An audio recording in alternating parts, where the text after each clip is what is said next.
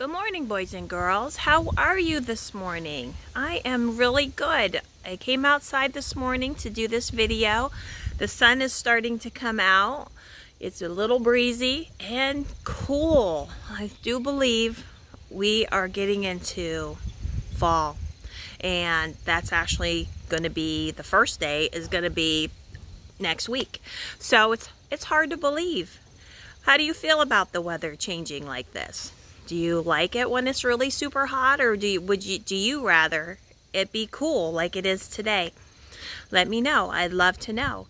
So we're going to try to get on later and do a spend some time together. We could see each other and see the other kids in your in your class. So I will send everybody a link so we could try to get together. All right. Have a great day, guys. Bye.